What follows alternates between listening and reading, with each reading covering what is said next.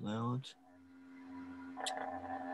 So, um, Michael, you are head of Soteria. So I, have never considered myself any head of Soteria. It's nice of you to say that. But anyway, uh, um, yeah, yeah great welcome to everybody. Of course, this is our third uh, meeting, and I sometimes think that if you have a society or group and you manage to get to the third, it's a very good sign because a lot of organizations, a lot of groups, and a lot of magazines and publications shoot off and fall after the number two. That seems to me, anyway the case. So it's uh, very heartening to see at our third meeting so many people appearing. Great welcome to Daniel there from somewhere in Germany who invited at last moment. Daniel wrote rather an informative and very clear piece on James Joyce, which is why I got in contact with him. And um, I can't say any more than that. It's very great welcome to everybody. To remind people again, when I send out this newsletter, the times we meet is not written in stone. If you feel strongly that another time or day is more convenient, and please, please let me know. And uh, I think it's over to Stead to introduce a subject which certainly interests me. And I, I got the impression from receiving a number of mails that uh, most of us don't know much about him, if he even existed. And uh, over to Stead. Thank you. Well, welcome everyone. Uh, welcome, uh, Catherine. I see you've just joined. Um, unlike in the first two meetings, I've decided to preface the readings with only a short introduction, which allows us time to read a more sizable, continuous narrative of the work if we had the stomach for it, or to do something else if we uh, don't wish to continue. This writing I've found difficult to gain traction upon and it may be beneficial to read a longer passage to acclimatize one's sensibility. There is a three part poem of which we shall read the first part and then an extract from another poem of a different style within the collection for contrast. Um, after having read these two extracts, I shall ask whether we do have the stomach to read parts uh, two and three of the first poem. If not, then I should say a few words and we can discuss what we've read. I, I would ask everyone to bear the subtitle of today's meeting in mind. How, how good are these works? Uh, uh, and we can discuss that afterwards. For all the extracts, I've added in bold the names of the speakers to aid in the understanding of the narrative. Sometimes, however, it's uh, it's not clear who is speaking, since the poems of Ossian are supposed to be the vividly dramatized uh, internal reflections of Ossian. He was, uh, or is supposed to be, the aged blind bard um, in Celtic myth, the son of Finn McCool uh, and the father of Thingol, one of the heroes of the collection. Does anyone remember seeing the film Being There with the main role, that of the innocent simpleton gardener who, by an accidental association with powerful people after he is injured by a rich man's car, ends up being chosen to become the next president of the United States? Anyone, you know, put, put your hand up if you know know the film. Well, a couple of people. Um, um, yeah, I do have a clip lined up, but may, maybe uh, you know maybe we should use our time in another another way. Uh, th this most sympathetic and engaging character that Peter Sellers created, or so it seemed to me. Um, uh, it was played, as I said, by Peter Sellers, that master of uh, so many different voices. Uh, uh, uh with, without meaning any disrespect to him, I, I find myself much more attracted to the characters he created than to him personally. And I think this phenomenon is well attested that of actors who, in their stage persona, are people of surpassing power and appeal, but who in their private lives are people riven with flaws. And one wonders whether the phenomenon prevails also in other arts. Let's go to this.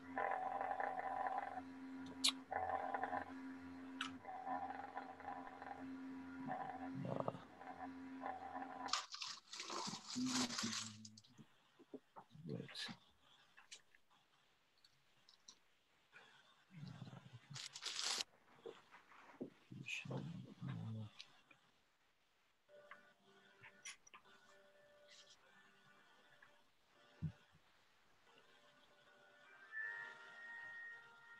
Me hear this.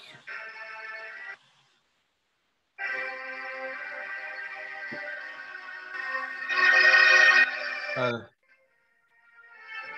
well known.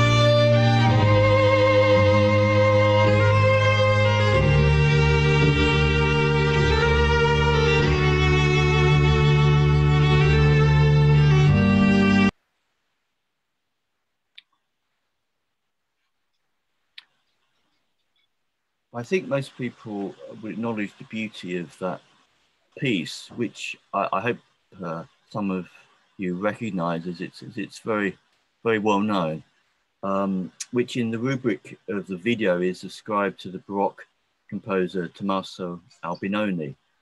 It was first published in 1958 by the musicologist Remo Giazotto with the claim that it was the orchestrated form of a fragment which he had discovered in the Saxon State Library in Dresden.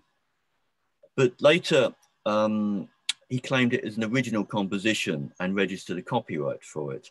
I'm not aware of anything else he composed.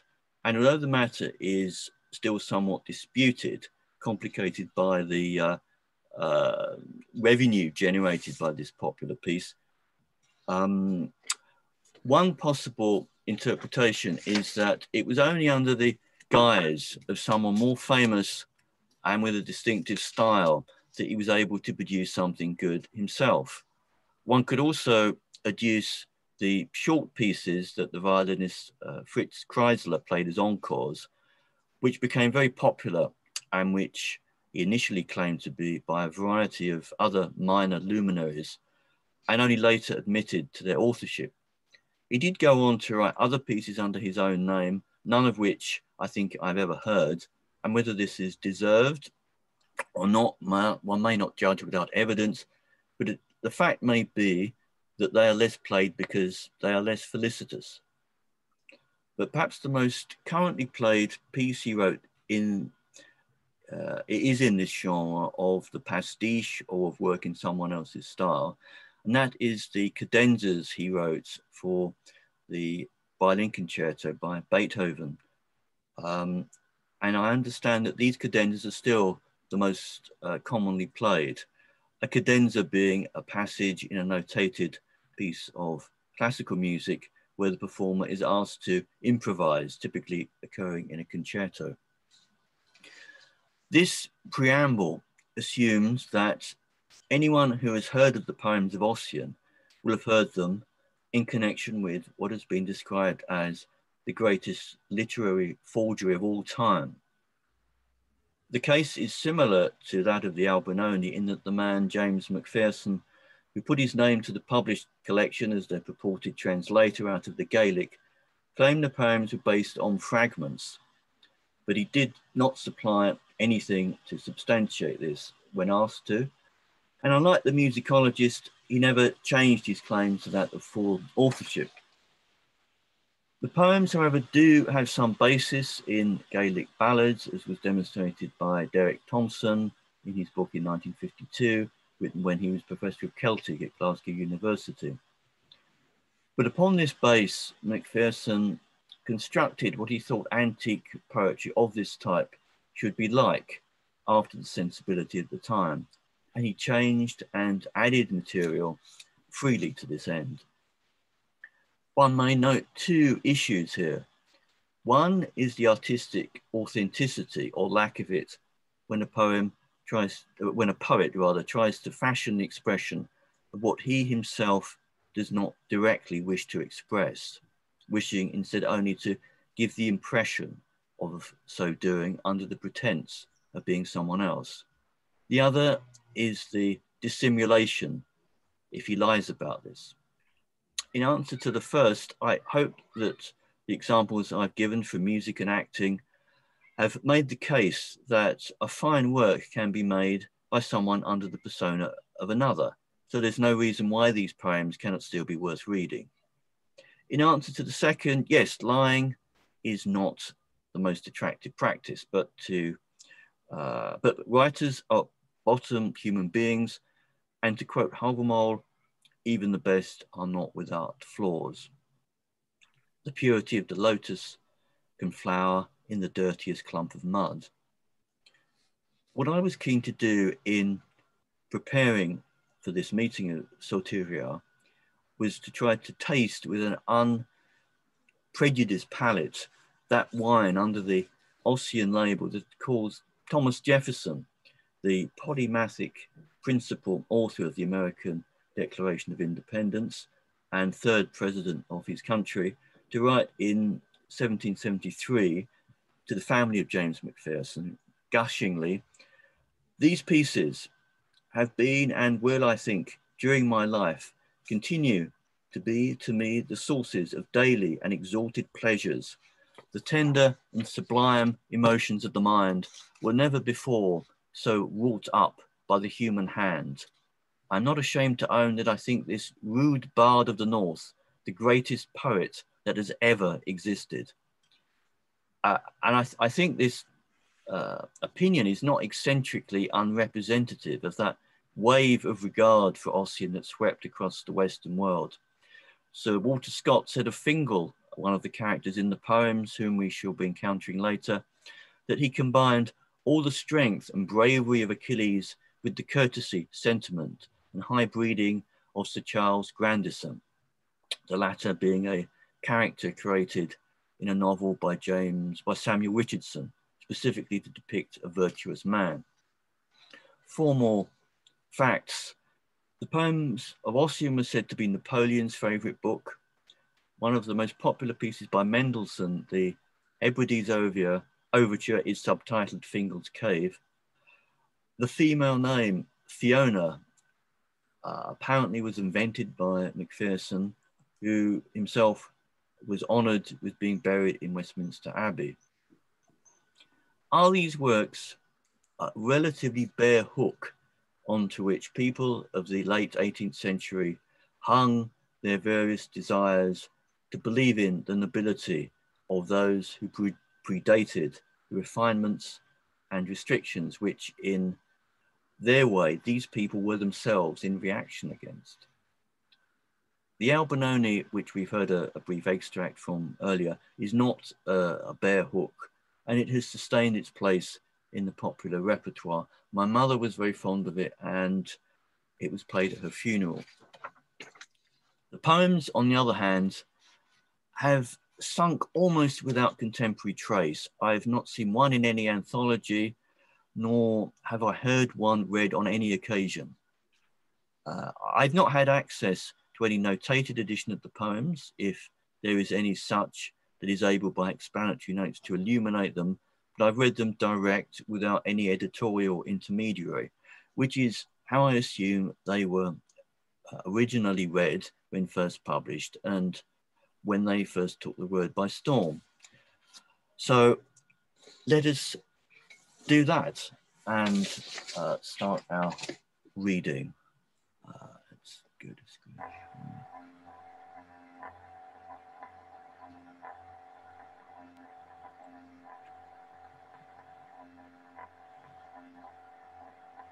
Right. This is the first extract. Now, uh, I shall read what is called the argument, uh, and this. I would I would ask everyone to try to attend to the details quite carefully because it's not easy to follow uh, when the drama starts going. Fingal, when very young, making a voyage to the Orkney Islands, was driven by stress of weather into a bay of Scandinavia near the residence of Starno, king of Lochlin. Starno invites Fingal to a feast. Fingal, doubting the faith of the king and mindful of a former breach of hospitality, refuses to go. Starno gathers together his tribes. Fingal resolves to defend himself. Night coming on, Duth Maruno proposes to Fingal to observe the motions of the enemy. The king himself undertakes the watch. Advancing towards the enemy, he accidentally comes to the cave of Turthor, where Starno had confined Kon Ban Kargla, the captive daughter of a neighboring chief. The story is imperfect, a part of the original being lost. Fingal comes to a place of worship where Starno and his son Swaran consulted the spirit of Loda concerning the issue of war. The encounter of Fingal and Swaran. Duan first concludes with a description of the airy hall of Cruth Loda, supposed to be the Odin of Scandinavia. Duan is apparently um, a term for a poem like canto. So I think, uh, Frank, please launch us upon this. The tale of the times of old. Why, thou wanderer unseen, thou bender with thistle Laura, why, thou breeze of a valley, hast thou left mine ear? I hear no distant roar of strings, no sound of the harp from the rock. Come, thou huntress of Lutha, Malvina, call back his soul to the bard, and look forward to Lochlinno lakes, to a dark billowy bay of Uthorno, where Fingal descends from ocean from the roar of winds. Few of the heroes of Morven in the land unknown. Starno sent a dweller of Loda to bid Fingal to the feast, but the king remembered the past, and all his rage arose. Nor Gormal, Gormal's mossy towers, no, nor Starno shall Fingal behold. Death's wander like shadows over his fiery soul. Do I forget that beam of light, the white-handed daughter of kings? Go, son of Loda. His words are wind to Fingal, wind that to and fro drives the thistle in, in autumn's dusky vale. Duth Maruno, arm of death, Cromma-glas of iron shields. Struthmor, dweller of battle's wings. Cormar, whose ships bound on seas, careless as the course of a meteor. On dark rolling clouds, Arise around me, children of heroes, in a land unknown. Let each look on his shield like Trenmor, the ruler of wars. Stefan, uh, the Trenmor. Oh, it's my. Calm down. Thus Trenmor said. Thou jeweler between the harps, thou shalt roll this stream away or whereas with me in earth. Around the king they rise in wrath. No words come forth. They seize their spears. Each soul is rolled into itself. At length the sudden clang is waked on all their aching shields. Each takes his hill by night. At intervals they darkly stand unequal bursts the hum of songs between the roaring wind. Broad over them rose the moon. In his arms came tall Maruno, he from Croma rocks, stern hunter of a boar. In his dark boat he rose on waves, when Crumthormo awaked his woods. In the chase he shone among foes. No fear was thine, Duth Maruno. Michael from London, please. O son of daring Comhall, shall my steps be forward through night? From the shield shall I view them o'er, over their gleaming tribes? Starno, king of lakes, is before me, and Swaran, the foe strangers. Their words are not vain by Lodi's, Loda's stone of power. Should Duth Maruno not return? His spouse is lonely at home where he meet two roaring streams on Vokralo's plain. Around our hills with echoing woods, the ocean is rolling near. My son looks on screaming seafowl, a young wanderer on the field. Give the head of a boar to Condona. Tell him of his father's joy when the bristly strength of Euthorno rolled on his lifted spear. Tell him of my deeds in war. Tell where his father fell. Not forgetful of my fathers. Said Fingal. I have bounded over the seas. Theirs were the times of danger in the days of old. Nor settles darkness on me before foes, though youthful in my locks. Chief of Cratha Mokraumo, the field of night is mine. Fingal rushed in all his arms, wide bounding over Thurtle stream, the sent his sullen roar by night through Gormal's misty vale. A moonbeam glittered on a rock, in the midst stood a stately form, a form with floating locks, like Lochlin's white bosom maid. Unequal are her steps and short. She throws a broken song on wind. At times she tosses her white arms, for grief is dwelling in her soul.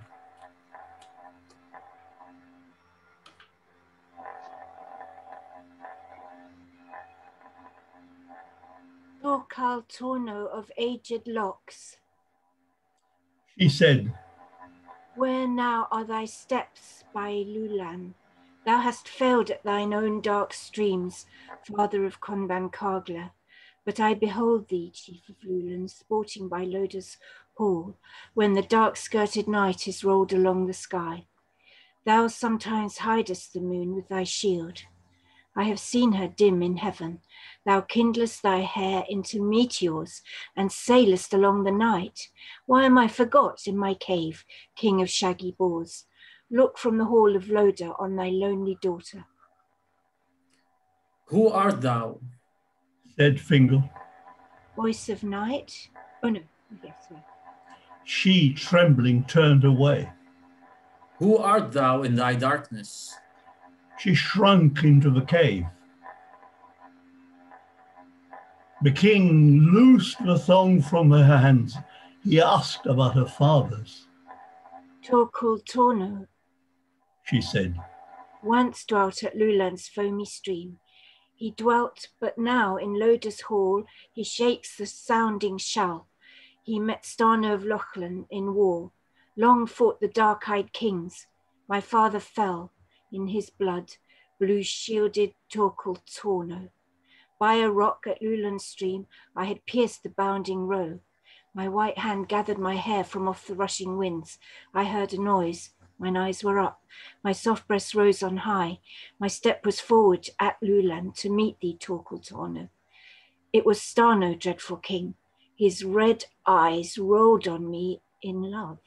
Dark waved his shaggy brow above his gathered smile. Where is my father? I said, he that was mighty in war. Thou art left alone among foes, O daughter of Torqual Torno. He took my hand.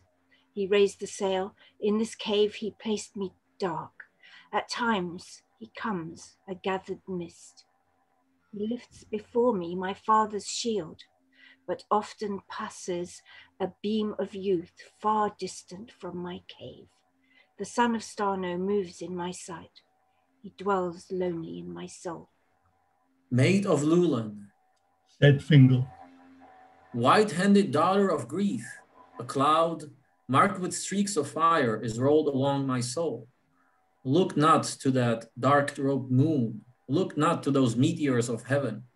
My gleaming steel is around thee, the terror of my foes. It is not the steel of the feeble, nor of the dark in soul. The maids are not shut, shut in our caves of streams. They toss not their white arms alone. They bend fair within their locks, above the harps of Selma. Their voice is not in the desert wild. We melt along the pleasing sound. Fingal again advances steps, wide through the bosom of the night, to where the trees of Loda shook amid squally winds. Three stones with heads of moss are there, a stream with foaming course, and dreadful, rolled around them is the dark red cloud of Loda. High from its top look forward a ghost, half formed of a shadowy stroke. He poured his voice at times amidst the roaring stream. Near, bending beneath a blasted tree, two heroes received his words, Swaran of lakes and Starno, foe strangers. On their dun shields they darkly leaned, their spears are forward through night. Shrill sounds of blast of darkness is Starno's floating bier. They heard the tread of Fingal, the warriors rose in arms. Swaran, lay that wanderer low, said Starno in his pride. Take the shield of thy father, it is a rock in war. Swaran threw his gleaming spear, he stood fixed in Loda's tree. Then came the foes forward with swords, they mixed their rattling steel. Through the thongs of Swaran's shield rushed the blade of Luna. The shield fell rolling on earth, cleft the helmet fell down. Fingers stopped the lifted steel. Rothful stood sword and unarmed. He rolled his silent eyes. He threw his sword on earth. And slowly, stalking over stream, he whistled as he went. Nor unseen of his father is Swaran, Starno turns away wrath. His shaggy brows were dark above, above his gathering rage. He strikes Loda's tree with his spear. He raises the hum of songs. They come to the host of Lochlin, each in his own dark path, like two foam-covered streams from two rainy vales. To Thulna's play Fingal return. Fair rose a beam of east, shone on the spoils of Lochlin in the hand of the king. From her cave came forth in her beauty the daughter of Torquil She gathered her hair from wind, she wildly raised a song, the song of Lulan of shells, where once her father dwelt. She saw Starno's bloody shield, gladness rose a light on her face. She saw the cleft helmet of Swaran, she shrunk darkened from Fingal. Art thou fallen by thy hundred streams, O love of the mournful maid? You thorn over rises and waters, on whose side are the meteors of night? And behold the dark moon descending high by resounding woods. On thy top dwells the misty Loda, the house of the spirits of men. In the end his cloud, his cloudy hall bends forward, Cruth Loda's swords. His form is dimly seen amid his wavy mist. His right hand is on his shield, in his left is the half viewless shell. The roof of his dreadful hall is marked with nighty fires. The race of Cruth Loda advance, a ridge of formless shades. It reaches a sandy shell to those of shining war. But between him and the feeble, his shield arises a dark orb. He's, he's a setting meteor to the waking arms, bright as a rainbow streams came Lulan's white bosom made. I'm quite taken aback by the life that everyone has been able to endow this uh, aged uh, text with. I mean, just highly agree with you. Round. I mean, I, I, you know, I'm quite overcome. I, uh, if if people don't mind, um, I, uh, uh, uh Father Frank, would, would you would you mind go, carrying on as Ossian because you seem to have really got into it so well. I, I couldn't compete, Stena. That, that is really yeah. Uh, yeah, It, it, He's it, a little bit intense, like me. uh, right now we uh, uh, yeah. This is a slightly different style. Um, the foretelling. I'll read the the, the yeah, just a brief description. Uh, Med has assembled a force to go north in the search for a valuable bull which she is ready to take by force. Before leaving, she sees a woman whom she asks to make prophecy. Med uh, counters the hmm. inauspicious prophecy with what she thinks she knows of the strength of the force that will be confronting them, much of which will be paralyzed by period pains inflicted upon them by a goddess whom they have offended. When Medb was come to the place where his druid was, she craved light and augury of him. Edith, this is your second role. I, I, I... Oh, I thought someone else was going to do Med. Oh, um, yeah, uh, um, Catherine, yeah, Catherine, do, would you fancy being Med? Okay, many there be. Says Med. Who, who do part with their kinsmen and, kinsmen and friends here today, and from their homes and their lands, from father and from mother, and unless unscathed, everyone shall return. Upon me will they cast their sighs in their ban, for it is I that have assembled this levy. Yet there goeth forth, nor stayeth there at home any dearer to me than are we to ourselves. And do thou discover for us whether we ourselves shall return, or whether we shall never return. And the druid made answer. Whoever comes not through thyself shall come. Uh, wait then, spake the charioteer. I think I'm doing both. Um, who's charioteer? Oh, I see. Um, yeah, I see. Yeah, uh, yes. Yeah, sorry, that was mine. Um, I'm the charioteer. Wait then. Uh, spake the charioteer. Let me wheel the chariot by the right, that thus the power of a good omen may arise, that may we will we return again. Then the charioteer wheeled his chariot round, and Medb went back again. When she espied a thing to surprise her, a lone virgin of marriageable age, standing on the hind pole of a chariot a little way off, drawing nigh her, and thus the maiden appeared. Weaving lace was she, in her right hand was a bordering rod of silver bronze with seven strips of red gold of a size a many spotted green mantle around her, a bulging, strong-headed pin of gold in the mantle of her bosom, a hooded tunic with red interweaving above her, a ruddy fair face countenance she had, narrow below and broad above. She had a blue-gray and laughing eye, each eye had three pupils. Dark and black were her brows, the soft black lashes threw a shadow to the middle of her cheeks. Red and thin were her lips. Shiny and pearly were her teeth. Thou wouldst believe there were showers of white pearls that had rained into her head. Like to fresh Parthian crimson were her lips, as sweet the strings of lutes when long sustained, they are played by master players' hands was the melodious sound of her voice and her fair speech. As white as snow in one night fallen was the sheen of her skin, her body was shone outside dress. Slender and very white were her feet. Rosy, even sharp round nails she had. Two sandals with golden buckles about them. Fair yellow, long golden hair she wore. Three braids of her hair she wore Two tresses were wound around her head. The other tress from behind threw a shadow down her calves. Med gazed at her.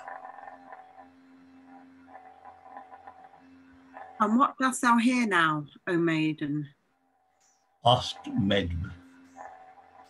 I impart to thee thine advantage and good fortune in thy gathering and muster of the four mighty provinces of Erin against the land of Ulster on the raid for the king of Cualnge.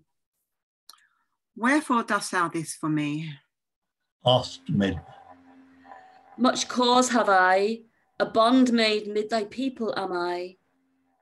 Who of my people art thou, and what is thy name? asked Mid. Not hard in sooth to say, the prophetess of Fedelm from the sea of Cruachan, a poetess of Connacht am I. Whence comest thou? Uh, asked Mid. From Alba, after learning prophetic skill. The maiden made answer. Hast thou the form of the divination? Verily have I. The maiden said. Look then for me, how will my undertaking be? The maiden looked, then spake Med. Good now. Tell, O fair, O Feldum, prophet maid, how beholdest thou our host? Fedelm answered and spoke. Crimson red from blood they are. I behold them bathed in red. That is no true augury, said Med. Verily, Conchobar with the Ulstermen is in his pains in Emain. Thither fared my messengers. San brought me true tidings. Naught is there that we need to we need dread from Ulster's men.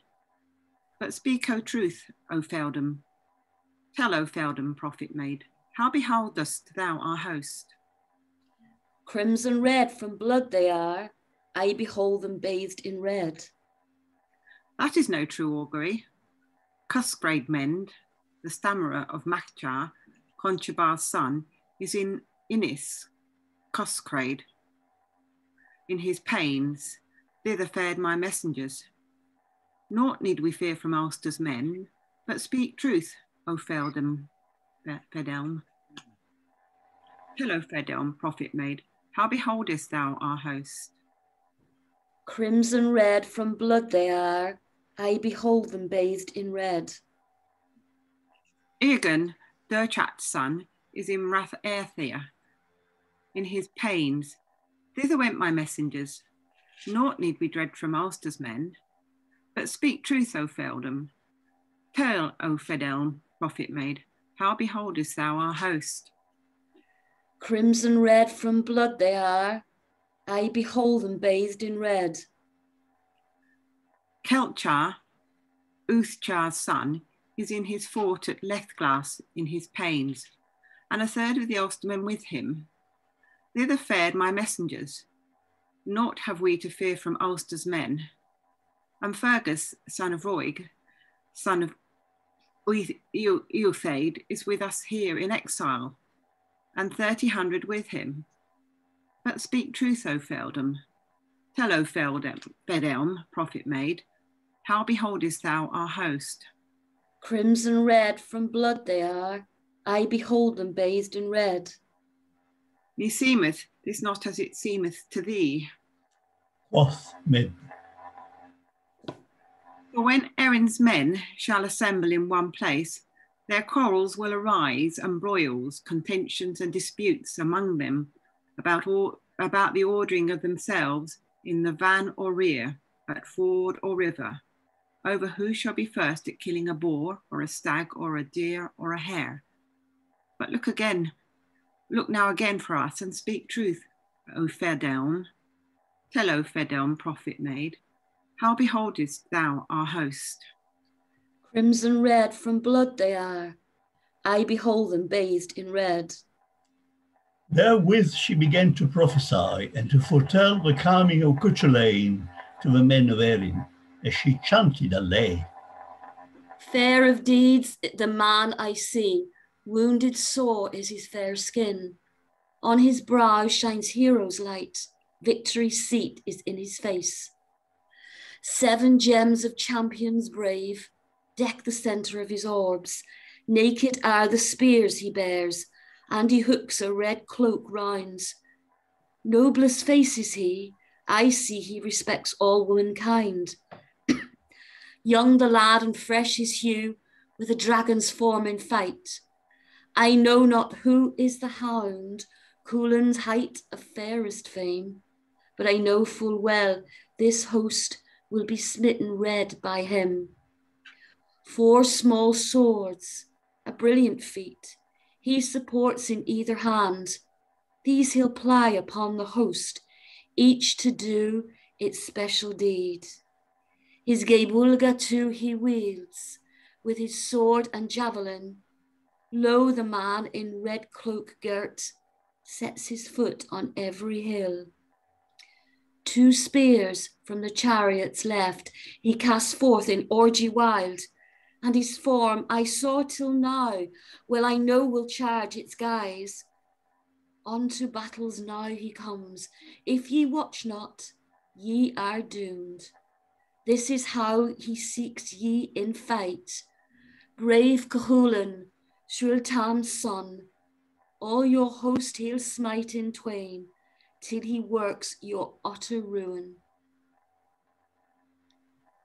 All your heads ye leave with him, Fedelm prophet maid hides not. Gore shall flow from warriors' wounds, long twill live in memory, bodies hacked and wives in tears, the, through the smith's hound whom I see. Uh, again, I, you know, uh, uh, great applause. I think everyone did a wonderful job. Um, uh, what? Uh, I think I think I'll, I'll, stop share for a bit. Yeah. I want to make a remark. Sorry. Uh, I want to tell something. I, I think the, the last poem was very of a very Scandinavian form. Mm. You, you, yes, you. Um, what what did what did um, uh, everyone think about the, the, the two works, uh, uh, the two extracts we, we've had? I mean, I, I found the first one very, very difficult to uh, follow. The, the, second one was, was, was far stronger in its basis in real events. What, what, what, what did people think? I felt uh, very, but I agree with you what you said there. And I also felt that there was such a powerful rhythm or music to it that when uh, I had difficulty following the plot, following events, because it was an outpouring of words almost mm. that could be, it sounds bizarre to say, almost like symbolist poetry, because it was such a flood of words that one was carried away as one might be by, by a, a classical symphony. Mm. That was one thing that, that certainly struck me. The other thing I would definitely say is that I can well understand that people believed it was translated from the Gaelic simply because the language came across to me at least as very much a good translation of something. My impression, my spontaneous impression. Um, I, I, I, I must say, Frank, rather Frank, I, think you, you read it with extraordinary rhythm. Uh, yes, yes, yes. Yeah, absolutely. Musicality. Um, I, I don't know whether that's your Italian background, but it, it was, yeah, uh, wonderful and I'm not, uh, I'm not, um, I must um, aver, I'm not really uh, keen on poetry. But I wanted to say, um, for me, um, yes, it's a sheer flow of words. Uh, the content, the actual meaning, uh, it just emerges from bits and pieces. For some reason, the words which stuck out in my consciousness were not words which ultimately, presumably important. For example, the word Ulster Today, Ulster is not a word which the Irish would like. I mean, the Irish nationalists. Yeah. Well, yeah. Ulster I'm Ulster. well, I'm, I'm, sorry. I'm sorry. I, maybe I put my foot in it. But I know yeah. some uh, Irish Protestant, uh, Irish Catholics who don't like the word. Yeah. Well, I, I, I can I just disagree there because I'm a well, well, I was an Irish Catholic, but I'm from one of the other counties of Ulster that's not in Northern Ireland. Right, right. I'm from Monaghan, and Monaghan is very proud part of Ulster. Um, okay. With the mythology. Yeah. So it's okay. Okay. Uh, I, I, I stand uh, corrected. the other thing is the name, which I don't know how to pronounce. The word which I pronounce Cuchulainn, but there must be a correct way now, Cuchulainn is the name of a dog who's actually the mascot of the Irish Guards Regiment in London. And when you go, go and see the change of the guards, and when you get the Irish regiment, sometimes you see this dog, Cuchulainn, taken along with the parade. So I, I, I, I think it's, I think it's Cú Chulainn. Actually, Cú means a dog okay. or a hound, like Key in Welsh is dog, and Cú yeah, is, the, is the, Irish Gaelic for dog. So it's the dog or the hound of Cullen. I, I, think he got the name because he had killed a watchdog and then he took That's, on yeah. the role of a, a, a watchdog. Okay. okay. Who's the dog in Irish, you say? Cú. Cú. Mm-hmm. Uh, that's uh, typical Indo-European. It is uh, like a hound uh, uh, uh, and hund in uh, German and kyon in uh, in in Greek. Oh, really? Oh, yeah. Yes, oh. Q, Q is uh, the the root, mm. and uh, also the French, I think chien, ah, from the same uh, root. So it's Indo-European. Uh, what, what, what did I mean? Did uh, oh, Mike, Mikhail, yes, please.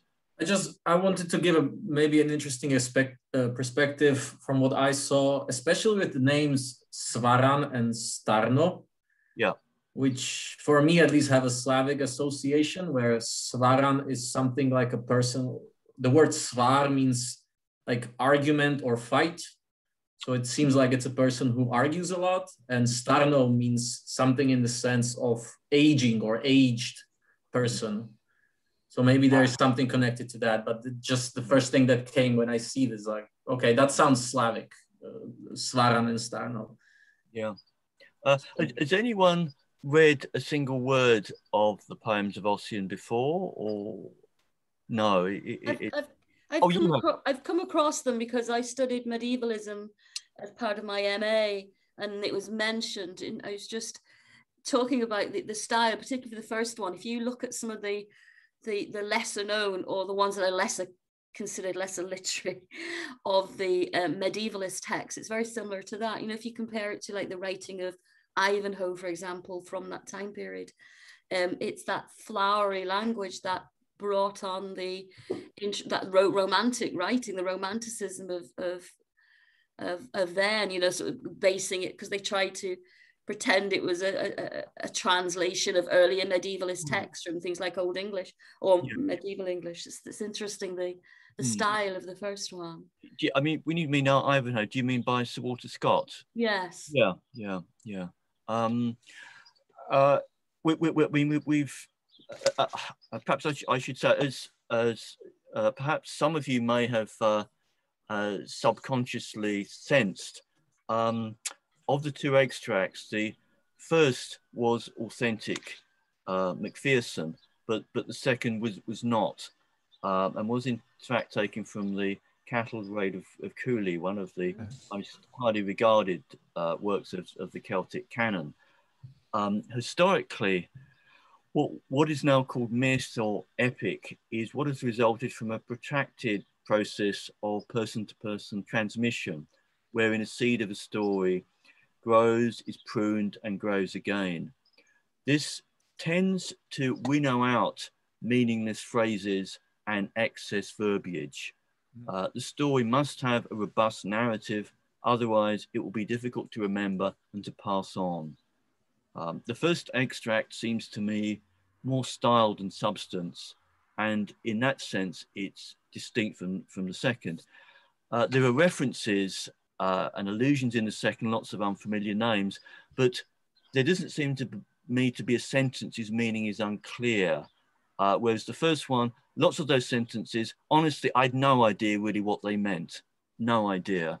Um, Macpherson attends to passions, to battles, to sorrows, without much explanation as to the to the reasons. He kind of adds words almost like colors just just to sort of give some uh, tone to something. If one will he has a, a, a, a, very romantic view of things and his use of language is similar.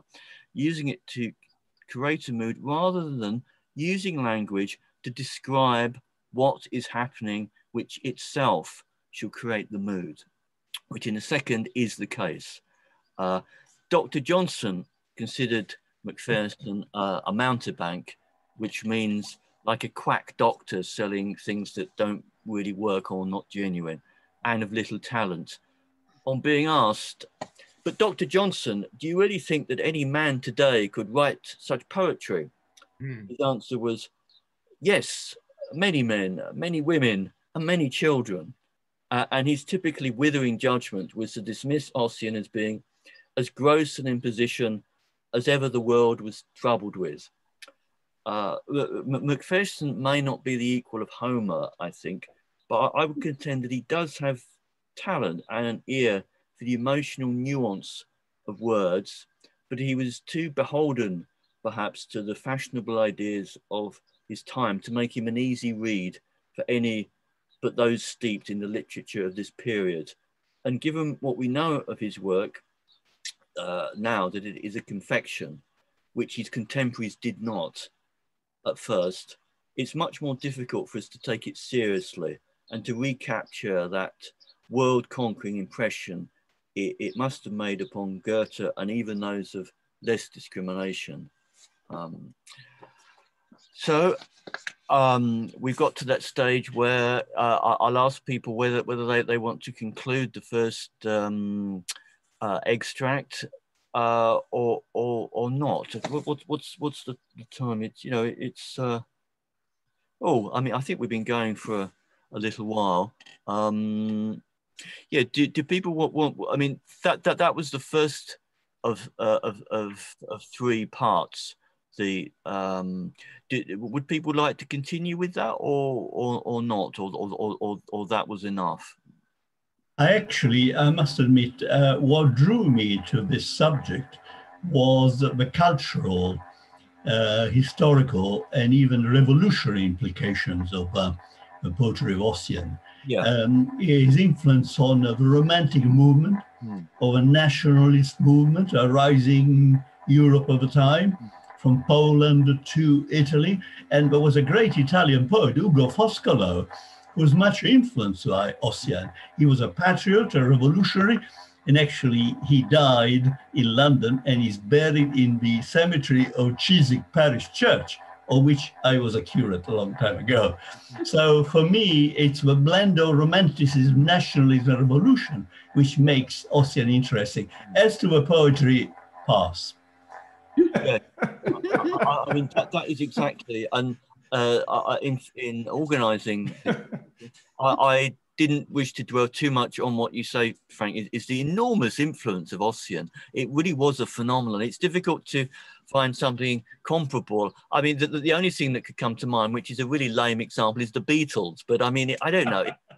It, it, it, swept across the world. And uh, I, um, as I said, Thomas Jefferson said that he was the greatest poet that ever existed. I mean, it's, it's astonishing, astonishing. And there were so many paintings and um, pieces of music. I mean, Schubert set set some of the poems and in, in all sorts of translations. And it, it, it was what the theories of people like Herder uh, talking about the importance of indigenous culture, it was what uh, kind of needed to, to, to, be there for people to say, oh, this is exactly what he was talking about. This is this is wonderful, and we must get back to this kind of rude authenticity. Um, yeah, it, it, was this kind of uh, bare hook that people could hang their their hopes on, really. Uh, but the, the literature itself, I don't know, it, it is strange. But so I, I, I, I get the impression that maybe um, there, there isn't a, a collective will to uh, drive on to, to, to the end of the uh, uh, uh, uh of the um, uh, of this particular poem. I think. Yes, Stefan. Please. May I say something before I leave? Uh, uh I, am not uh, so so much into the English literature, and I, as you know, it's apparent I'm not a native English speaker. but I think this is by far the most poetic piece in English I I have ever uh, come across. oh, yes. really? Yes, I think so. And uh, I was in particular impressed by the, the, the, the, the last piece, the last long uh, uh, uh poem, uh, which was read by the lady, the, the young princess in, in, in the poem. because it resembles so much something I have here, for example, it is Saxo Grammaticus. Yeah. It's a, a very classic in, uh, in Danish uh, literature. It was originally written in, in uh, Latin. Yes. Uh, uh, but uh, it was translated and it, it, was some nice translations that were made um, some 150 up to 100 years ago. Mm.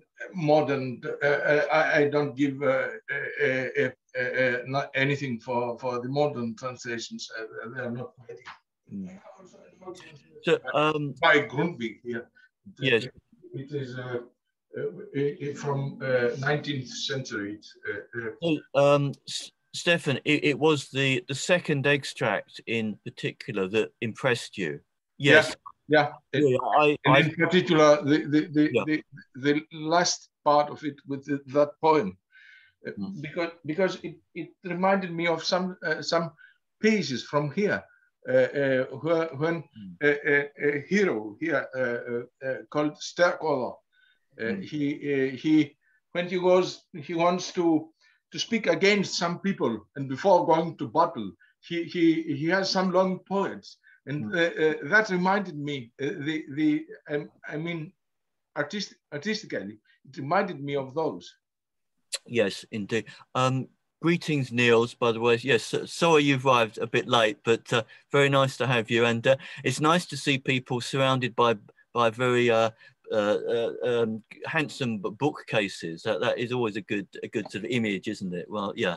Um, uh, yeah, no, the, the second uh, uh, um, extract was was very powerful, and uh, yeah. um, could, so, could, could, we have you some uh, PDF form which you could uh, send yeah, I, I, I, uh, uh, it, it, it's available at a very good website called Sacred Texts, something like .com or something. But Stefan, I'll, I'll, I'll send you a link. I, will do that. After. Thank you. Yes, yes. I'm glad to have it. And by the way, Stead, I absolutely adored that um, piece of Albinoni, the Adagio, which Lovely. for me, it's always, always had a tremendous uh, emotional impact. Yeah and it was, I first heard it as part of a score of Orson Welles' uh, filmed version of Kafka's The Trial. It always stuck in my mind.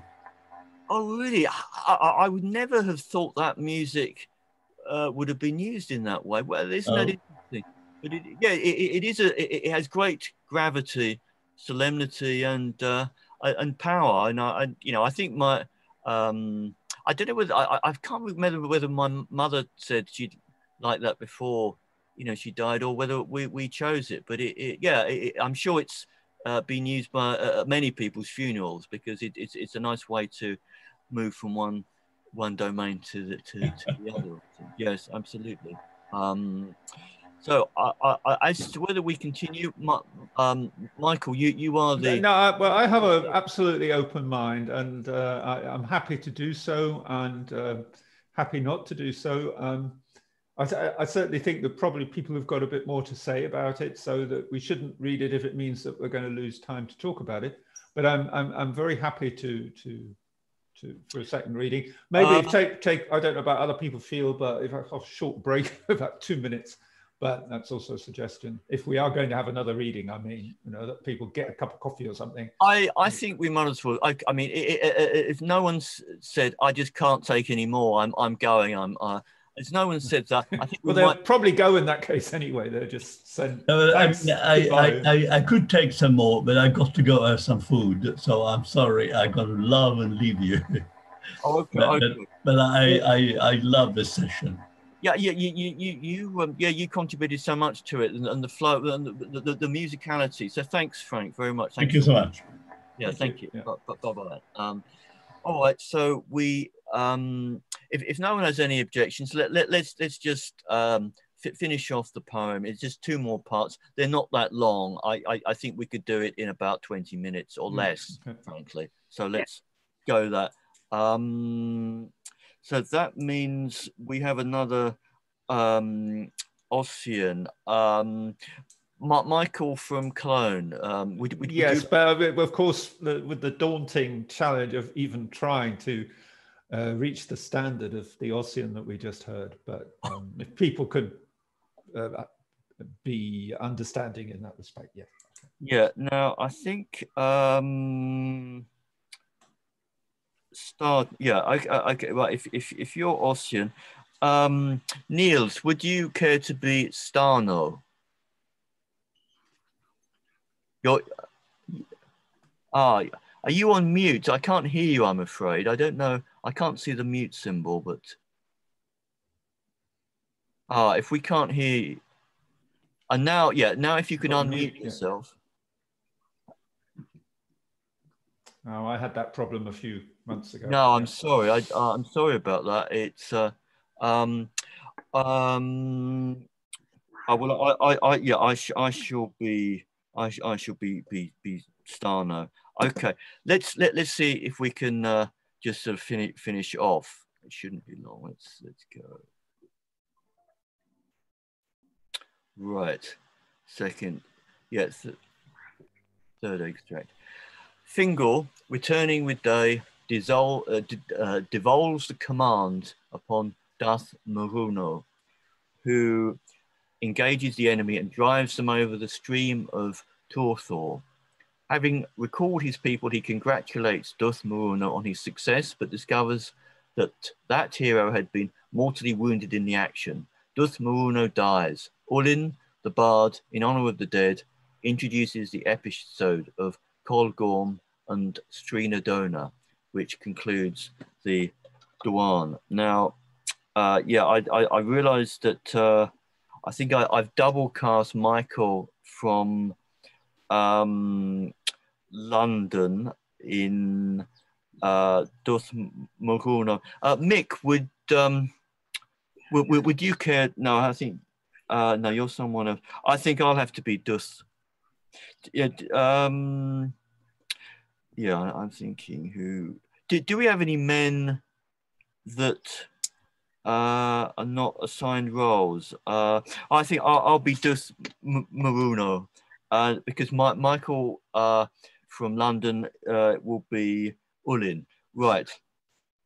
Where art thou, son of the king? Said dark haired Duth Maruno. Where hast thou failed, young demon of Selma? He returns not from the bosom of night. Morning is spread on Uthorno. In his midst is the sun on his hill. Warriors lift the shields in my presence. He must not fall like a fire from heaven, whose place is not marked on the ground. He comes like an eagle from the skirt of his squally wind.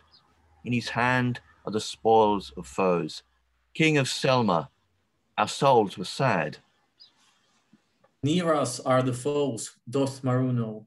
They come forward like waves in mist, when their foamy tops are seen at times above the low sailing vapor. The traveler shrinks on his journey. He knows not whither to fly. No trembling travelers are we. Sons of heroes call forth the steel. Shall the sword of Fingal arise, or shall a warrior lead? The deeds of old, said Duth Maruno, are like paths to our eyes, O Fingal. Broad shielded Trenmor is still seen amidst his own dim years nor feeble was the soul of the king. There no dark deed wandered in secret. From their hundred streams came the tribes to glassy Colglan Crona. Their chiefs were before them, each strove to lead the war. Their swords were often half unsheathed, red rolled their eyes of rage. Separate they stood and hummed their sourly songs. Why should they yield to each other? Their fathers were unequal, were equal in war. Trenmor was there, with his people stately, in youthful locks. He saw the advancing foe, the grief of his soul arose. He bade the chiefs to lead by turns. They led, but they were rolled away. From his own mossy hill, blue shielded Trenmor came down. He led wide skirted battle, and the strangers failed. Around him, the dark browed warriors came they struck the shield of joy. Like a pleasant gale, the words of power rushed forth from Selma of kings. But the chiefs led by turns in war till mighty danger rose. Then was the hour of the king to conquer in the field. Uh, Mick? Not unknown, said Cromma-glas of Shields, are the deeds of our fathers. But who shall now lead the war before the race of kings? mist settles on these four dark hills. Within it, let each warrior strike his shield. Spirits may descend in darkness and mark us for the war. They went each to his hill of mist. Bards marked the sounds of the shields. Loudest rung thy boss, Duth Maruno. Thou must lead in war. Like the murmurs of waters, the race of Uthorno came down. Starno led the battle and Swaran of stormy isles. They looked forward from iron shields like Cruth Loda, fiery-eyed when he looks from behind the darkened moon and strews his signs on night. The foes met by Turthor's stream. They heaved like ridgy waves. Their echoing strokes are mixed. Shadowy death flies over the hosts. They were clouds of hail with squally winds in their skirts. Their showers are roaring together. Below them swells the dark rolling deep. Strife of gloomy Uthorno, why should I mark thy wounds? Thou art with the years that are gone, thou fadest on my soul. Starno brought forward his skirt of war and swung his own dark wing. Nor a harmless fire as Duthmaruno's sword. Lochlin is rolled over her streams. The wrathful kings are lost in thought. They roll their silent eyes over the flight of their land. The horn of Fingal was heard. The sons of woody Albion returned. But many lay by Turthor's stream, silent in their blood. Chief of Crathmo, said the king. Duthmaruno, hunter of boars, not harmless returns my eagle from the field of foes. For this white bosom Lanul shall brighten at her streams. Candona shall rejoice as he wanders in Crathmo's fields. Colgorm, replied the chief, was the first of my race in Albion.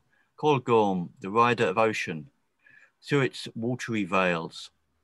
He slew his brother in Aethonor. He left the land of his fathers. He chose his place in silence by rocky Crathmo-craulo. His race came forth in their years. They came forth to war, but they always fell. The wound of my fathers is mine, king of echoing isles. He drew an arrow from his side. He fell pale in a land unknown. His soul came forth to his fathers, to their stormy isle. There they pursued boars of mist along the skirts of winds. The chiefs stood silent around as the stones of Loda on their hill. The traveller sees them through the twilight from his lonely path. He thinks them the ghosts of the aged, forming future wars. Night came down on Uthorno. Still stood the, stood the chiefs in their grief. The blast whistled by turns through every warrior's hair. Fingal at length broke forth from the thoughts of his soul. He called Ullin of harps and bade the song to rise. No falling fire that is only seen and then retires in night. No departing meteor was he that is laid so low. He was like the strong beaming sun, long rejoicing on his hill. Called the names of his fathers from their dwellings old. Ithorno, at the bard. Thou risest midst ridgy seas. Why is thy head so gloomy in the ocean's mist? From thy veils come, came forth a race, fearless as thy strong winged eagles, the race of Colgorm, of iron shields, dwellers of Loda's Hall. In Tormut Muff's resounding isle arose Lurthen, steamy hill. It bent its woody head over a silent vale. There at foamy Cruruth's source dwelt Rumar, hunter of boars. His daughter was fair as a sun, white-bosomed Strinadona. Many a king of heroes and hero of iron shields, many a youth of heavy locks came to Rumar's echoing hall. They came to woo the maid, the stately huntress of Tormoth wild but thou lookest careless from thy steps, high bosomed Strinadona. If on the heath she moved, her breast was whiter than the down of Cana. If on the sea shore, then the foam of the rolling ocean. Her eyes were two stars of light. Her face was heaven's bow in showers. Her dark hair flowed round it like the streaming clouds. Thou wert the dweller of souls, white-handed Strinadona. Colgorm came in a ship, and Colgern Surin, king of shells. The brothers came from Ithorno to woo the sunbeam of Tormoth wild. She sold them in their echoing steel. Her soul was fixed on blue-eyed Colgorm. O'Loughlin's nightly eye looked in and saw the tossing arms of Strinadona. Wrathful, the brothers frowned. Their flaming eyes in silence met. They turned away. They struck their shields. Their hands were trembling on their swords. They rushed into the strife of heroes for long-haired Strinadona. Corco Sorin fell, fell in blood. On his isle raged the strength of his father. He turned Colgorm from Ithorno to wander on all the winds. In Crathmo-craulo's rocky field, he dwelt by a foreign stream, nor darkened the king alone. That beam of light was near, the daughter of echoing Tormoth, white armed, Strinadona. Ossian, after some general reflections, describes the situation of Fingal and the position of the army of Lochlin, the conversation of Starno and Swaran, the episode of Corman Trunar and Foina Brag. Starno, from his own example, recommends to Swaran to surprise Fingal, who had retired alone to a neighbouring hill. Upon Swaran's refusal, Starno undertakes the enterprise himself is overcome and taken prisoner by Fingal. He is dismissed after a severe reprimand for his cruelty. Whence is the stream of years? Whither do they roll along? Where have they hid in mist their many coloured sides? I look unto the times of old, but they seem dim to Ossian's eyes, like reflected moonbeams on a distant lake. Here rise the red beams of war, there silent dwells a feeble race. They mark no years with their deeds, as slow they pass along. Dweller between the shields, thou that awakest the failing soul, descend from thy wall, harp of Cona, with thy voices three. Come with that which kindles the past, rear the forms of old on their own dark brown years. Uthorno, hill of storms, I behold my race on thy side. Fingal is bending in night over Duthmaruno's tomb. Near him are the steps of his heroes, hunters of the boar. By Tuatho's stream, the host of Lochlin is deep in shades. The wrathful king stood on two hills. They looked forward on their bossy shields. They looked forward to the stars of night, red wandering in the west. Cruth Loda bends from high like formless meteor in clouds. He sends abroad the winds and marks them with his signs. Starno foresaw that Morven's king was not to yield in war. He twice struck the tree in wrath. He rushed before his son. He hummed a sourly song and heard his air in wind. Turned from one another they stood like two oaks which different winds had bent. Each hangs over his own loud rill and shakes his boughs in the course of blasts. Annir, said Starno of Lakes was oh, a fire that uh, was a fire that consumed of old. He poured death from his eyes along the striving fields. His joy was in the fall of men. Blood to him was a summer stream that brings joy to the withered vales from its mossy rock, and mossy rock. He came forth to the lake Luth Cormel to meet the tall Corman Truna. He from Urlor of streams, dweller of battle's wing. The chief of Urlor had come to Gormal with his dark bosomed ships. He saw the daughter of Annir, white armed Foina Bragal. He saw her, nor careless rolled her eyes on the rider of stormy waves. She fled to his ship in darkness, like a moonbeam through a nightly veil. Annir pursued along the deep. He called the winds of heaven.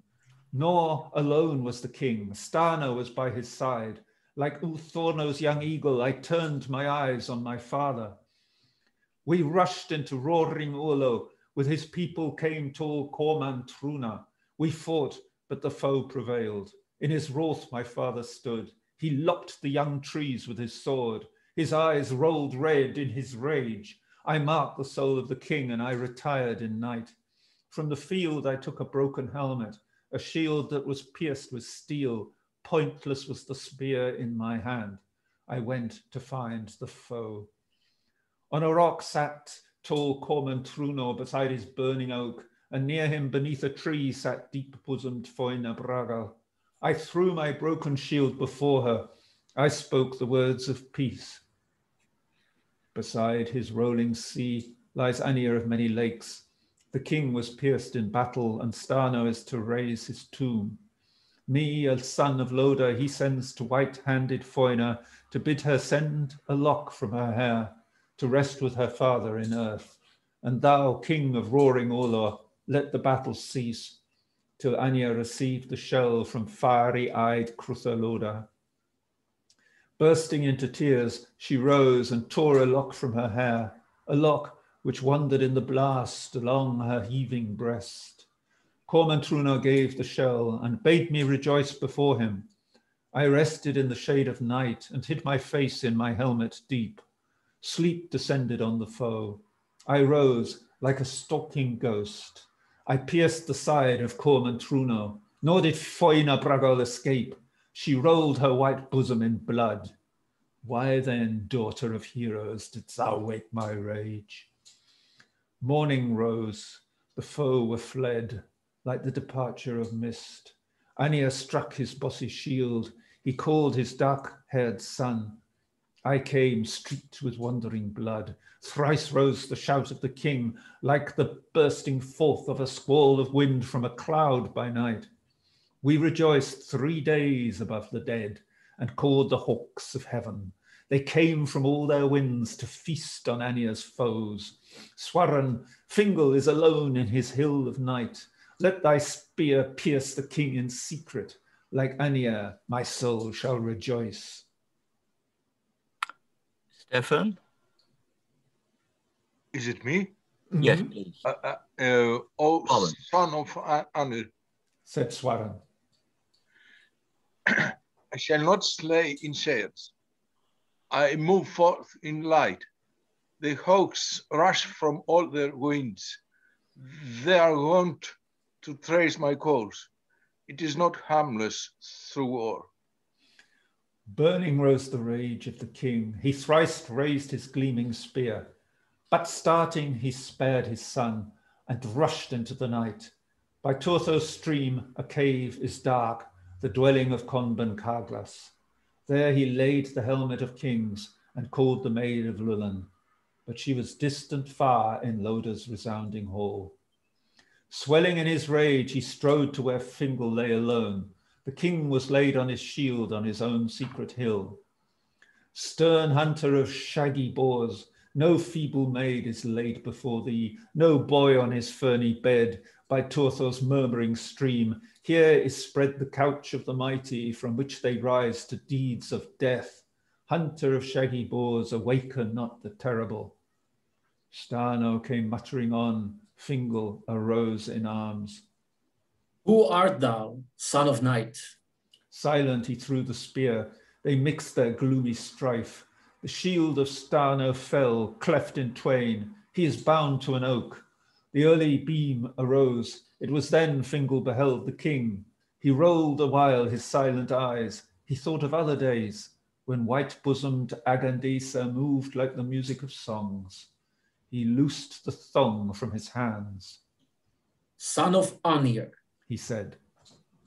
Retire, retire to Gormal of Shells, a beam that was set returns. I remember thy white-bosomed daughter, dreadful king, away. Go to thy troubled dwelling, cloudy foe of the lovely, let the stranger shun thee, thou gloomy in the hall. A tale of the times of old. So it concludes with Fingal being uh, magnanimous in victory and setting free Starno, who, whom he has uh, conquered. Uh, so he's he's behaving with uh, what was at the time regarded as a as a, as, uh, as um, some degree of decency in, uh, in, in, in, in that respect. And yeah, I, I'm I'm I, I thank everyone for allowing me to experience this, this, this text in a way that I hadn't when I read it alone. I, I, I it really has come to life with um, in, in, in the voices of people. So that, I thank everyone who's who's read uh, a text that is not easy because of the very unfamiliar names. So you know, many many thanks to, to everyone. And um, yeah, I, I, I, the last bit went quite uh, um, quickly. I hope everyone's found this um, enjoyable and, and uh, informative. Really, uh, it, it, does give one a taste of some uh, of something that, that had such a power in the past. I mean, now it, it, it doesn't seem to, to, to have retained it, but um, uh, at, at, least we've actually read a, a, a, whole unit of the poems of Ossian. Would, so, would you would you think, Stade? I was listening to that and I was thinking the extraordinary influence because um, I agree with you. It is extraordinary that um, Macpherson had, or should I say Ossian had, mm. could one perhaps regard him as a kind of seedbed, a, sort of seedbed of inspiration that somehow he provided a raw stuff that inspired painters and musicians. Because um, I feel that very much uh, reading it, that at, at, the same time it's extremely good and extremely bad. Yeah. Um, it's extremely good in the in, in, this joy of language, but it's extremely bad, and I can't see really what's happening. Some of the metaphors are, are just simply comical, to be honest. And there's this sort of strange combination. I don't know how other people feel of, of, of something very wonderful, but something also quite quite mediocre, if not awful. And uh, I, find very interesting. Because, uh, I mean, a, a, lot of the, the sentences. Um, I mean, I, I'm a native English speaker, and I, I really don't know what he means. Um, well, uh, that's an interesting point. Did he? I think he was trying to um, construct as a little bit like Synge with Playboy of the Western World. Was he not mm. trying to uh, create a syntax that he thought corresponded more closely to the Gaelic? Um, I can't directly give examples, but there were sentences that seemed, yeah. even for the 18th century, must have seemed quite mm. unusual and, and, alien. But was I think his attempt to reflect this Gaelic syntax, putting the adjective at the beginning. I mean, I'm not a Gaelic speaker, but I know that they do that um, very difficult it is instead of it is very difficult. Yes. Whatever. Yeah. Um, uh, I, I, mean, what one of the lines I, I, I, was reading, I almost read it wrongly because it, I thought it, it, he was saying, uh, now return the, the sons of Woody Allen, but it was Woody, Woody Albion.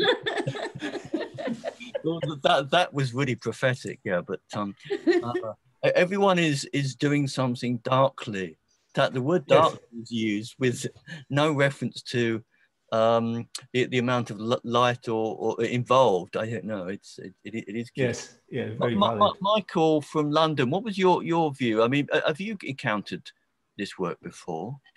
Um, not really. No, but I was I was kind of shocked by the the murder of the of the one opponent and the and the woman uh, while they're sleeping. Uh, that just struck me as really, really strange. And, and what type of a heroic tale is it supposed to be? If it's, I mean, he was, he had been welcomed and he said everything was fine, and then he kills them before they awake. Yeah, yeah, yeah, yeah. No, yes, it was. Uh, well, what about the language? I mean, did you find it quite quite exciting and enjoyable to listen to, or was it irritatingly diffuse and kind of lacking. There are too many different names of, of characters that I that are totally unfamiliar, and so you get lost mm. in that. I was trying to follow the, the meaning rather than the, the the metric. Yes, yes, indeed. Yeah. Um, just uh, uh, thanking Stefan for for coming. Yeah. Oh yeah. Oh yeah. You're still there. Yeah. Thanks, Stefan. Yeah. It, Thank you. You, you, you uh, enormous, enormous respect for for your being here. These texts are not easy at all for eh, uh, for, for, for a native speaker, let alone someone who for whom it's its fifth or or, or whatever. Sometimes, sometimes I combine with Scandinavian words or uh, German words to hmm. uh, etymologically uh, uh, understand, uh, intuitively understand what is meant yes. It, it's going. Thank you. Thank you. Thank you so much, Stefan. Uh, uh, Linda, I mean, are you, are you familiar with much um, uh, Celtic literature, Gaelic? you know, I mean, I mean, can you speak? Are you an Irish speaker by any chance? Um, only to a certain level. I, I had, we had to learn it for school, oh, and then really, um, yeah. I've, I've spoken it a, a little bit since because I, I worked I worked in TV.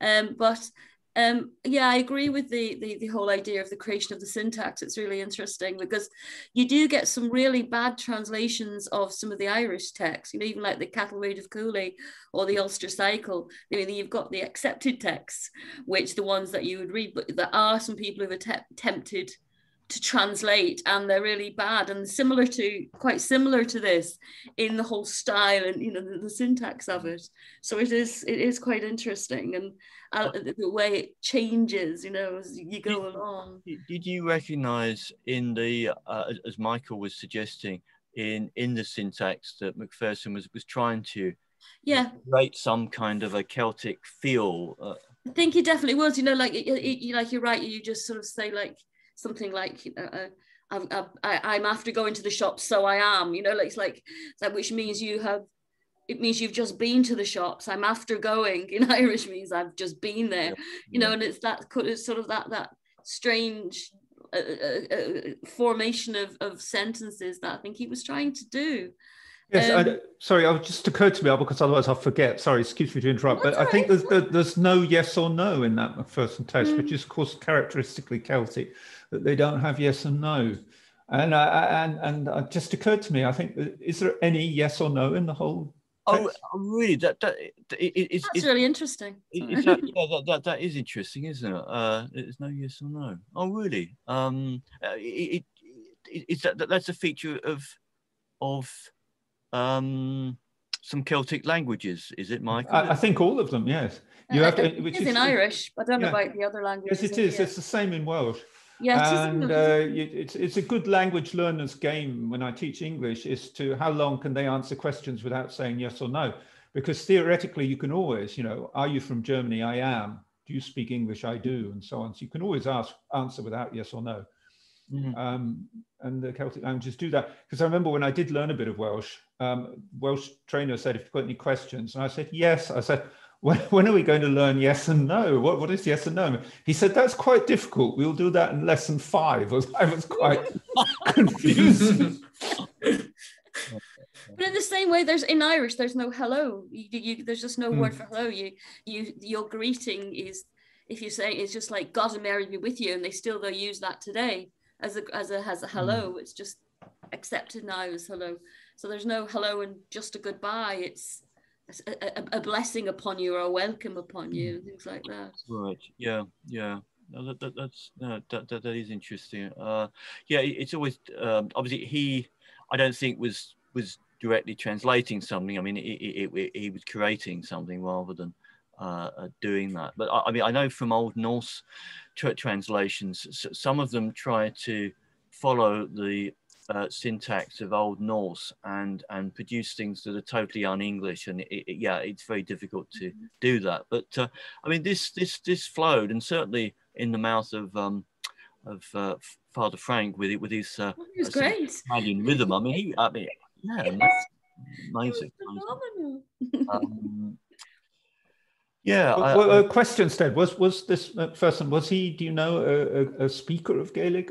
He he knew some Gaelic, but mm. but uh, apparently not not very well. I mean, he he really yeah, uh, not not not a good uh, Gaelic speaker. And the only um, text that uh, that any time seemed to have been uh, brought forward to show the the basis, I think in in, in his lifetime was was actually something that had been back translated from his English into Gaelic by someone. I don't know. Yeah uh, it, it, it, it, it, it, does, it does seem, seem, seem shame. But as, as has been found, I mean, there are, uh, I mean, he does re re refer to uh, motifs that, that were present in Gaelic ballads that mm -hmm. I'm sure he, he, he, would have known. And, uh, um, but uh, lots of the names I think he seems to uh, have invented, not not Fingal and a few of them, but some of them are really very very difficult. Uh, Linda, I mean, did you find the kind of phonology of, of the names actually less unfamiliar than some of us who've never encountered Gaelic? Some of them, some of them, I do, I do like. I think, like Michael said, that they, they sound quite Slavic. So, so some yeah. of the words were, I think, a, like a, a, conglomeration, a mixture of Irish and probably Scottish. No, that, that there's sort of a mixture of those things together. Yeah, and yeah they, they were quite familiar, but just sort of like a bastardization of certain words. But then others did sound quite Slavic. They didn't sound Gaelic at all. I don't know if that was intentional on his part. Yes, I mean some of them just seem to be really totally made up. They, they, they sounded like something from a science fiction or, or yeah, fantasy. some, some of them sounded like from Lovecraft actually. I was thinking, I was thinking yeah. like Lord of the Rings yeah. from Mordor. yeah. Extra, extra for that, I think. Uh, I, I, I, it's interesting comparing him with uh, Tolkien, who who did obviously create his own world, but you know, I think much more successfully, uh, of, course. Um, but, um, you know much else about Macpherson, about anything about his life and him and his wife um, works? Yeah, I, I, am just trying to think what he did as a, as a job. I mean, Uh, he, it seems that he wasn't a very agreeable character. I, I, I think he was a politician, instead. He might have been, yeah. I think he was a good politician. He, he, he, had a lot of good influential friends, I think. Was it, isn't he buried at Westminster Abbey? Yes, yeah, yeah, yeah, yeah. And he had quite uh, strong connections with some of the Scottish uh, literati. Uh, you know, uh, uh, uh, um, he did come from quite a cultured milieu. Um, but I, um, said, almost all of the discussion is of the, the cultural phenomenon, and it is good to actually look at the literature. But may, maybe um, uh, uh, is, uh, is there, there, are areas of literature that perhaps uh, someone here was would be interested in investigating similarly. So, uh, I mean, the, the idea of the, the, this club uh, um, is it not, Michael, that you know it should be to encourage the, the members to perhaps do a presentation on something that interests them. Definitely, and uh, the uh, next next meeting is, is a reading by me, and after that, I don't know if Stead has something up his sleeve, hmm. but I don't, and so we we would be very pleased, more than pleased, to receive suggestions from from members. I, I mean, I, I, think that the main thing is that we have a certain amount of time to actually read texts. Um, Completely agree with you. Yeah. Uh, so really, if one doesn't, uh, and this and it's can be to, to, to read them um, uh, you know, for, for, for, the first time, you know, so one doesn't have to give a, a, lengthy lecture about them. You know, one, one can just have some texts and we can put these, these up in a, um, in, in a form that everyone can see and, and, and read them and, and di discuss them. So I, would perhaps let that thought sit with everyone uh, if there's something that uh, will, will um, um, come to you in, in due, due course and, and we, we, can do that. Um, but yeah, th thanks everyone for um, uh, attending. And um, yeah, Michael, would you like to close the, the meeting or, or, make any more thoughts? All right. Well, yes, indeed. Thank you very much, um, everyone, for attending. I certainly hope uh, that you enjoyed it and profited from it, but well, both. and um, anything that you want to say, you you have either my email or Stead's or both of ours. Um, next meeting will be next month will be the second part of my talk on the Faustian temptation, having a brief look at uh, Goethe and Thomas Mann and the, the influence of the Faustian uh, temptation on our culture and where we are. And yes, please, please, I could only second Stead's appeal. If anybody themselves has any proposal or idea of something that they would like to present, uh, please let us know. Hmm. Uh, if you have any friends or contacts who you think might be interested in Soteria, let us know. It's free, as they say, and it's still free. And what they hmm. say in Facebook will remain free or something. Um, yes, and yeah, and again, thank you very much for taking the time to come. Uh, just a, a brief uh, notice about Wednesday. Uh, the, there's a moot on Wednesday with Professor Ed Dutton. That will be on the same link. That will be starting at quarter past seven Wednesday. Uh, he describes himself as an anthropologist of religion, and I'm sure that will be a, um, a, a suitably pungent and uh, fact-filled uh, disquisition about the benefits of um, religious practice. Uh, uh, it, it, it, and it should be highly entertaining. So I, would re recommend anyone to, to come.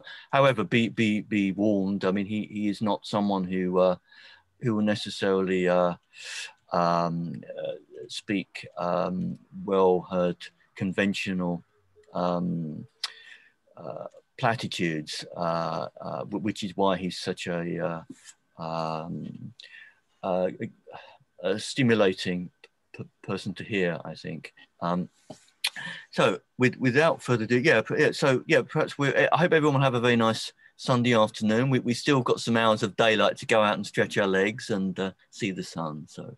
Uh, Th thank you, Stead. That was uh, yeah, thank you. Excellent. Great event. Thank you. Thank you. Thanks. Yeah, oh, cheers. Cheers, cheers, Michael. Cheers. Bye-bye. Bye, bye, everybody. Very much. Thank you. Bye. Bye.